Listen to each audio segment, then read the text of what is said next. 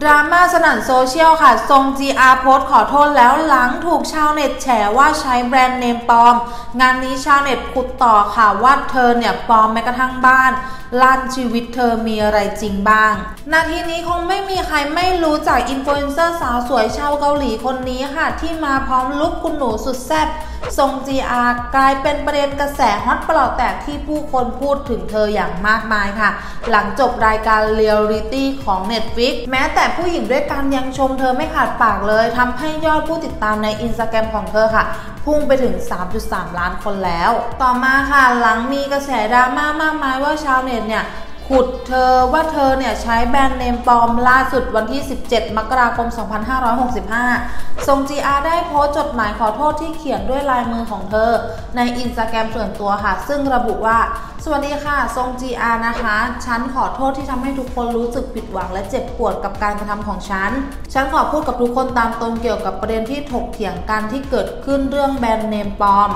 ซึ่งเป็นเรื่องจริงค่ะที่ฉันใส่แบรนด์เนมปลอมในรายการ ฉันต้องขอโทษจริง ๆสำหรับเรื่องทั้งหมดที่เกิดขึ้น เนื่องจากการละเมิดความคิดสร้างสรรค์ของเหล่าดีไซเนอร์ และความเพิกเฉยของลิขสิทธิ์ต่างๆ ในฐานะคนที่มีความฝันที่จะทำแบรนด์ของตนเอง ฉันตระหนักถึงประเด็นวิพากษ์วิจารณ์ที่เกิดขึ้นอย่างจริงจัง พร้อมทั้งจะสำนึกและไตร่ตรองการกระทำของตนเอง เพื่อไม่ให้เรื่องเช่นนี้เกิดขึ้นอีก ส่วนคอนเทนต์ต่างๆ ที่ได้โพสลงโซเชียลมีเดียนั้นถูกลบออกไปแล้วค่ะ อย่างไรก็ตามต้องขอโทษแบรนด์ต่างๆ ที่ได้รับความเสียหายเพราะฉัน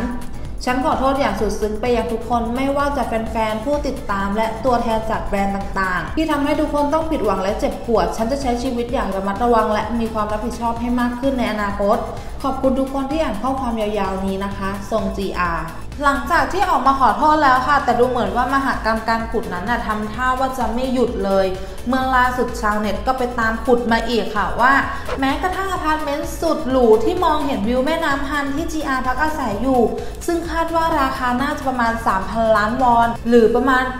83.5 ล้านบาทนั้น ต้นสังกัดของเธอเป็นคนเช่าห้องแบบรายเดือนให้เธออยู่เพื่อสร้างภาพลักษณ์ จนชาวเน็ตแห่คอมเมนต์ซัดว่าชีวิตเธอมีอะไรจริงบ้าง อย่างไรก็ตามค่ะทางต้นสังกัดได้มีการออกมาแถลงและขอโทษ บอกว่าเป็นความผิดของพวกเขาเอง พร้อมชี้แจงเรื่องบ้านที่เป็นประเด็นว่า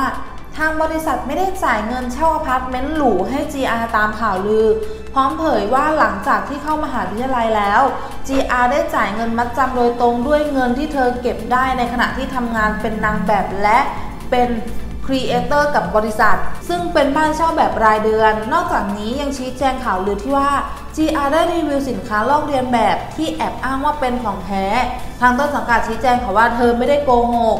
เหตุผลที่เราต้องทำให้วิดีโอนั้นเป็นแบบส่วนตัวไม่ใช่เพราะว่าสินค้าที่เธอรีวิวเป็นของปลอม แต่เนื่องจากเครื่องประดับที่เธอใส่ขณะทำการรีวิวนั้นเป็นของปลอม เราจึงต้องลบวิดีโอทั้งหมดทิ้ง ทางเราจะดำเนินการทางกฎหมายอย่างจริงจังกับทุกคนที่เผยแพร่และใส่ร้ายและวิพากษ์วิจารณ์ข่าวลือที่เป็นอันตราย และข้อมูลเท็จที่ไม่มีมูล ซึ่งสร้างความเสื่อมเสียชื่อเสียงต่อศิลปินในสังกัด อย่างไรก็ตามนะคะ ประเด็นของทรง GR ค่ะไม่ว่าจะเป็นประเด็นแบรนด์เนมปลอมหรือว่าบ้านปลอมหรือว่าอะไรต่างๆนะคะ ยังคงเป็นที่ถกเถียงบนโลกโซเชียลอยู่ค่ะ และต้องบอกเลยว่าตอนนี้เนี่ยชาวเน็ตยังคงขุดต่อเนื่องและไม่รู้ว่าเรื่องนี้จะไปจบลงที่ตรงไหนค่ะ ถ้ามีเรื่องราวของสาวทรง GR มาอัปเดตเนี่ยทางเพจมาดามเมาส์จะนำมาอัปเดตให้ทุกคนได้รับชมอย่างแน่นอนค่ะ